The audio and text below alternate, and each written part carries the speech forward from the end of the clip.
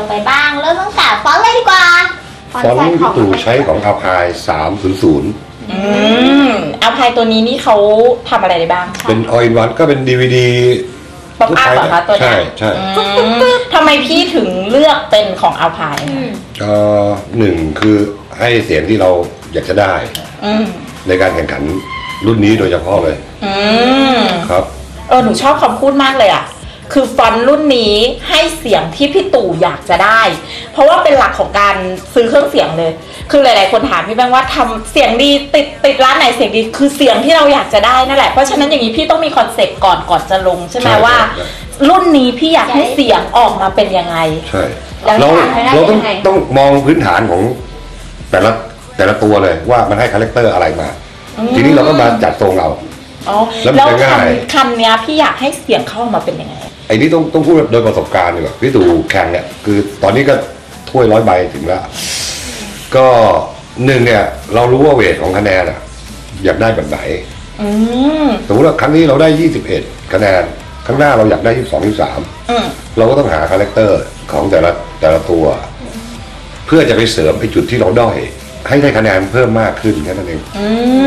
มพี่ตู่ว่าเนี่ยต้องแนะนำน้องๆพยายามศึกษาคาแรคเตอร์ของ สินค้าที่จะมาทำแข่งเนี่ย แต่ละรุ่นก่อนแต่ละรุ่นเลย อืมฟิกเลย เทียบกันแล้วก็มานั่งฟัง ไม่ใช่พอใส่ใส่ใส่แล้วพอไปแข่งคุณจะแบบเสียโอกาสมากกว่า อืมเพพยายามราะฉะนั้นทำกันอับ้านนดับนิดนึง แรกคือทำกันบ้านเรื่องคาแรคเตอร์เสียงก่อน ใช่แล้วเสร็จแล้วพี่ตู่ก็เลยเลือกเอาพายรุ่นนี้ เพราะว่าเป็นคาแรคเตอร์เสียงที่ตรงที่สุดที่พี่ตู่อยากได้สำหรับการแข่งขันรุ่นนี้ แล้วนอกนั้นก็เป็นประสบการณ์ล้วนใช่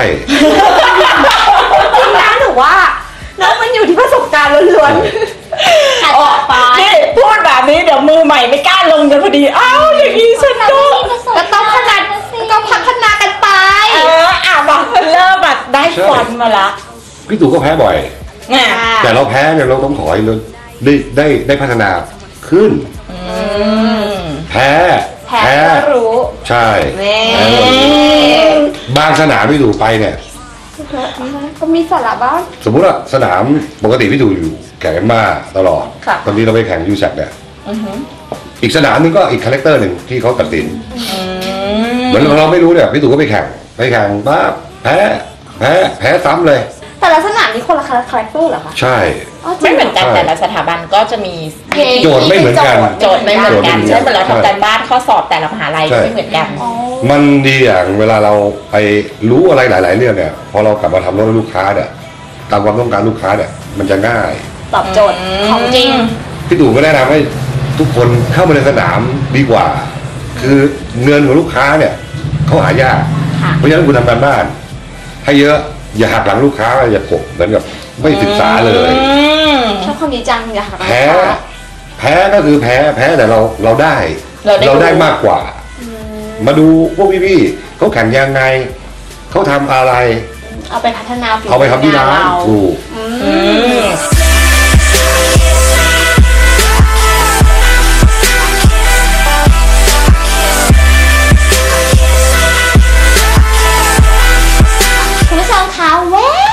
ไปดู Hot Sound กันนะคะ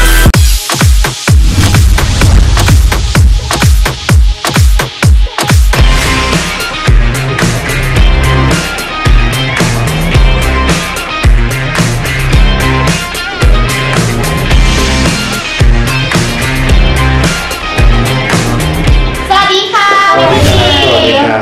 กลับมาสู่ช่วงHot Sound อีกแล้วค่ะ วันนี้พี่บัณฑิตเอาอะไรมาให้เราได้ชมกันคะ ก็ในวันนี้ก็จะเป็นในส่วนของลำโพงแล้วค่ะนะครับ ก็จะเป็นตัวรุ่น top สุดของ DLS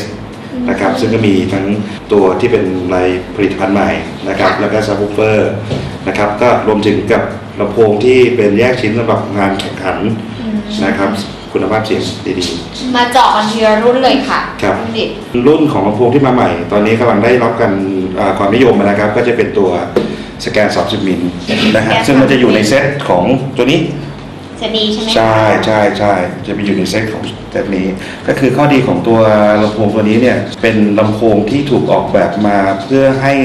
คุณภาพเสียงสมบูรณ์แบบ แล้วก็เป็นธรรมชาติมากที่สุด ซึ่งตัวนี้จริงๆแล้วมันจะเป็นสามทางมันจะคู่กันหนึ่งสองสามอ๋ออันนี้เซตเดียวกันใช่ใช่ไหมใช่คะคือจุดเด่นของ DOS เนี่ยในส่วนของลำโพงเนี่ยมันเป็นเขาเรียกคุณภาพเสียงแล้วก็ลำโพงเนี่ยจะเน้นก็คือเป็นเรื่องของสามทางซึ่งจะแตกต่างกันในตลาดทั่วไปค่ะครับ อันนี้เจาะเลยดีกว่าว่าว่ารุ่นนี้เนี่ยครับสเปคเขาเป็นยังไงอะไรยังไงอ๋อสเปคเหรอครับ ถ้าเป็น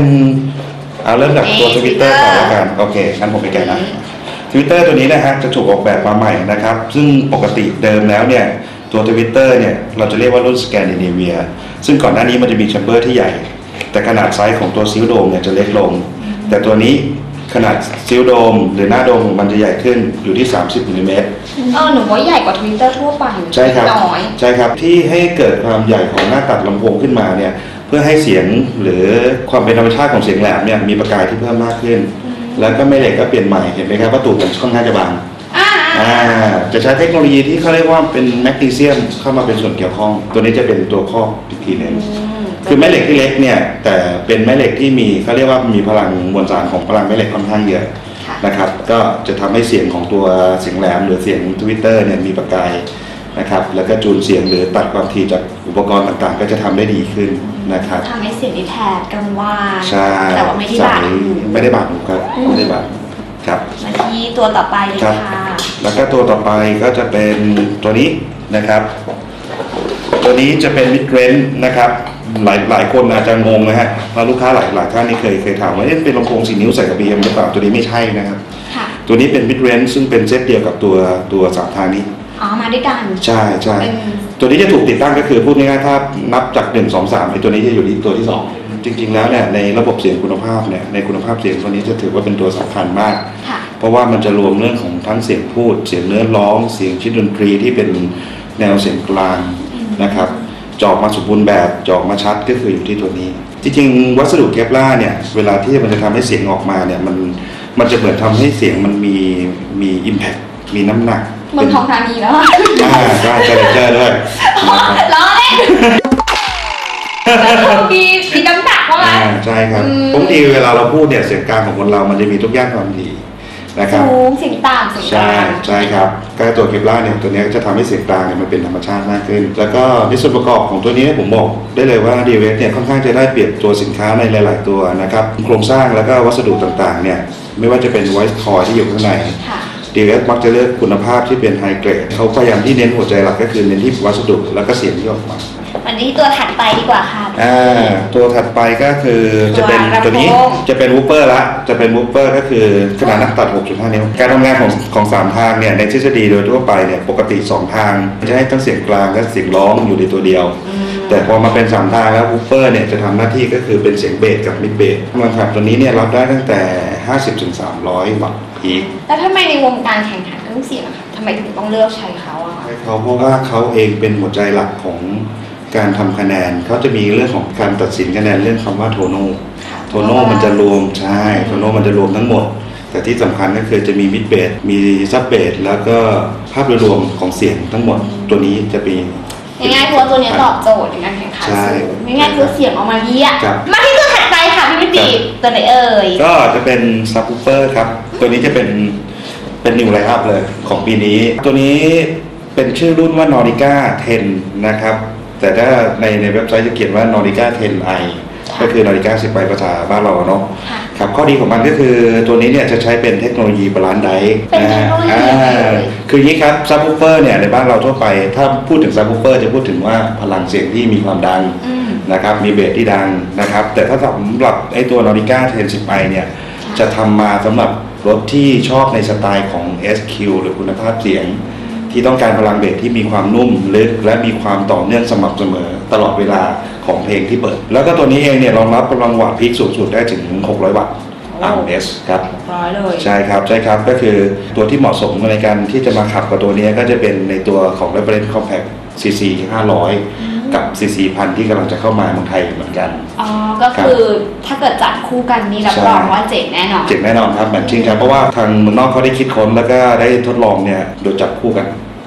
นะครับแล้วก็ถึงได้ตัวซับ w ูเฟอร์รุ่นนี้ออกมา ตัวนาฬิกาเนี่ยจะเน้นเป็นโครงสร้างที่เป็นเหล็กหล่อค่ะไม่เหล็กปกติจากที่เป็นชั้นเดียว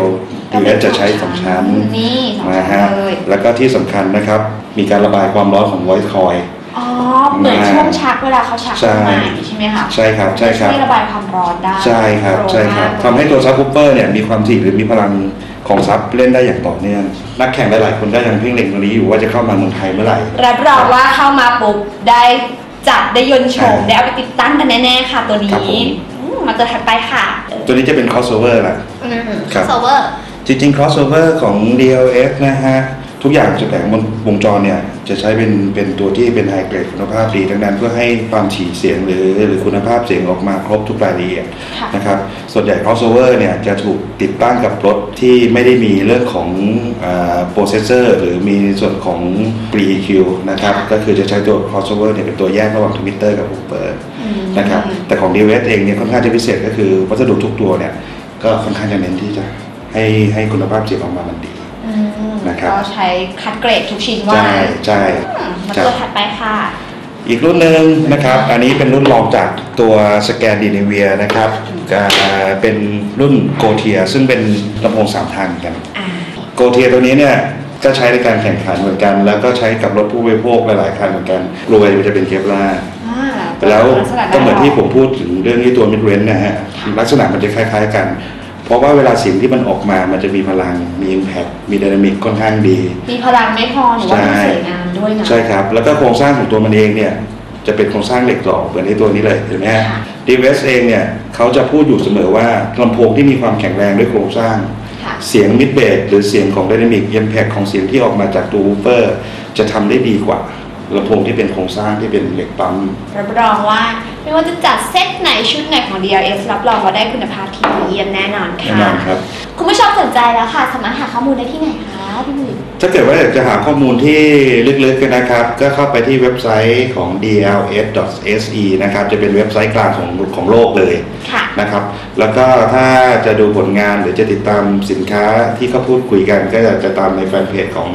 ทีมอพาดีไวไทยแลนด์ก็ได้ครับ ยังไงก็นะครับคลิกเข้าไปดูได้เลย ใช่ครับใช่ครับ ข้อมูลอยู่ข้างล่างแล้วค่ะเรียบร้อย เข้าไปเลยค่ะคุณผู้ชม แต่ว่าตอนนี้ต้องขอขอบคุณพี่บัณฑิตก่อนนะคะ ขอบคุณมากค่ะสวัสดีครับสวัสดีครับ ตอนนี้คุณผู้ชมก็ไปพักเบรกแป๊บหนึ่งนะคะ แล้วก็กลับมาชมรับเชิญต่อค่ะ คนเนี้ยกินกินสลีนว้าว ส่วนคนนี้ไม่ได้กินกินสลีนอะหุย